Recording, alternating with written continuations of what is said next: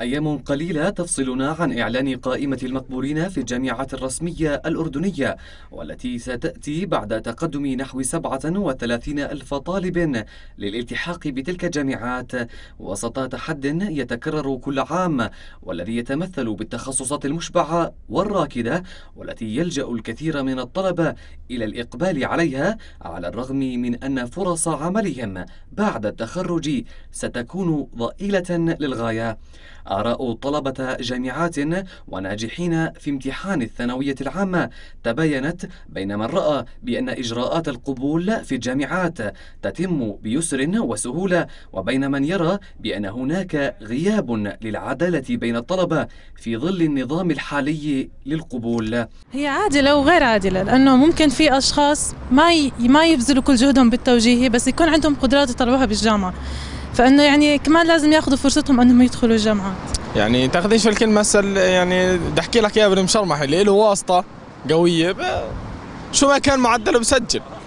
أما اللي كان زي حالاتنا مثلا اللي إنه فيش يعني معاه شيء وبده يسجل إنه في جدارته و... ومعدله. أي شيء. عدل أو مش عدل. أه، بصراحة بالنسبة لي كطالب موازي يعني سنة رابعة. موضوع المكرمات نوعا ما في مكارم فيها عدل. مثلا مكرمة الجيش نوعا ما هي عدل لكن في مكرمات بتأثر وبدخل فيها موضوع المعدل. هاي بعتبرها بالنسبة لي مش مش عادلة عشان الطالب آه، اللي درس وجاب معدل معين وطالب درس جاب معدل أقل ما مش عدل إنه يدخل نفس التخصص وهذا ممكن تروح عليه مقعده بالمقابل هذا الطالب ياخذ المقعد. وهو ما أدى أو ما بذل مجهود منه. يعني هي فيها عدل وما فيها حسب بس اللي بيجوا من دول تانية هم اللي بياخذوا حق أكثر يمكن إنه بس بيدرسوا بمصاريهم.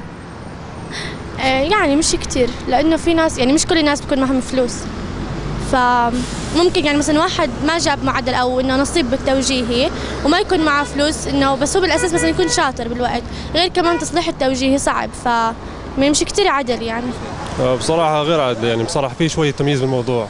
لأن آه، يعني في كثير شغلات مثلا بلاقي عشائر ما مش مش كثير بيطلع لهم خاصة الأردنية عشائر أردنية ما كثير بيطلع لهم.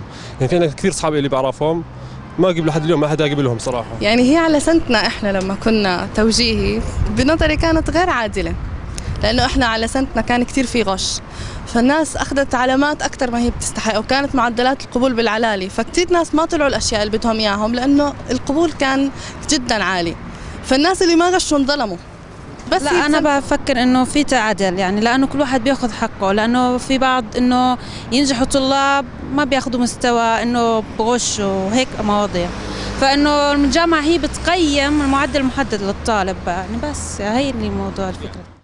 كما يرى كثيرون بأن وجود الجامعات الخاصة هو أحد الأسباب الرئيسية التي أدت إلى وجود الظلم بالقبول والدراسة وذلك من خلال اعتمادها على العنصر المادي بشكل أكبر من المعدل الدراسي. الطلبة المتقدمون يتنافسون على 30941 مقعدا جامعيا متاحة في تسع جامعات رسمية بالإضافة إلى جامعة العلوم الإسلامية العالمية. محمد شعفوط الحقيقة الدولية.